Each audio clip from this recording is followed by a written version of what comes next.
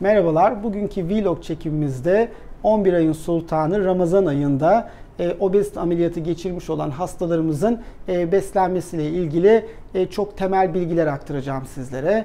E, bu bizim için önemli. E, biz e, ülkemiz Müslüman bir ülke olmasından dolayı Ramazan ayı bizler için son derece e, değerli. E, ameliyat olan hastalarımızın bize özellikle Ramazan ayı yaklaştığında en çok sordukları sorulardan bir tanesi de hocam e, ameliyatı oldum herhangi bir problemim yok. Bu yıl e, Ramazan'da oruç tutabilir miyim? E, aslında temelde obezite ameliyatları oruç tutmaya engel değil. Kesinlikle engel değil. Ancak ameliyat olduğunuz yıl e, ki Ramazan dönemi içerisinde yani ilk yıl e, oruç tutulması tıbbi açıdan e, çok önerilmiyor. E, bunun nedenini açıklayacağım size.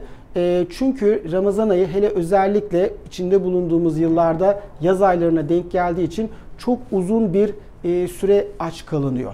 Ameliyat ettiğimiz hastalarda hem mide kapasitesi küçük e, olduğundan e, gıda alımı ve sı, sıvı alımı e, oruç tutmadığımız yani orucu açmış olduğumuz dönemde ki çok kısa bir süre içerisinde yeterli olmayacağı için açlık süremiz de çok uzun olduğu için e, problemlerle karşılaşabiliyoruz. E, uzun açlık dönemleri bir kere her şeyden önce sıvı kayıplarıyla karşımıza geliyor. Dolayısıyla bu gün içerisinde e, ameliyatı geçirmiş ilk yıl olan hastalarımızda e, düşmelere, bayılmalara, e, fenalık geçirme hisleriyle e, karşı karşıya kalabilirler. Nitekim bu şekilde e, deneyen hastalarımızda bu tarz şikayetlerin olduğunu bize iletiyorlar. O yüzden ilk bir yıllık dönemde e, oruç tutulması tıbbi açıdan çok önerilmiyor.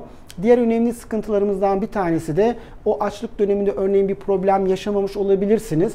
Ancak iftarda orucunuzu açtığınızda e, sahura kadar olan dönem çok kısa bir dönem. Mideniz küçük ve dolayısıyla orucu açtıktan sonra yani sıvıyı mı alacaksınız, katı gıdayı mı yiyeceksiniz? Bu katı gıdanın içerisinde protein mi alacaksınız yoksa karbonhidrat mı alacaksınız? Gerçekten son derece zor.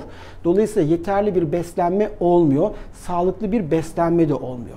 O yüzden e, burada sonuç olarak şunu net olarak ifade edeyim. Eğer bir obezite ameliyatı geçirdiyseniz literatür bazlı bakıldığında da o yıl içerisindeki Ramazan ayını sağlık açısından tutmamanızı öneriyoruz. Ancak ikinci yılınıza geçtikten sonraki geçireceğiniz Ramazan ayında doktorunuzla görüşerek eğer farklı bir tıbbi probleminiz yoksa oruç tutmaya e, devam edebilirsiniz. E, kal hiçbir şekilde bir problemle karşılaşacağınızı e, ummuyoruz. E, Ramazan ayında yaklaşan Ramazan ayında e, tüm hastalarımızın da e, hem Ramazan aylarını hem de arkasından gelecek olan Ramazan bayramını şimdiden kutluyorum.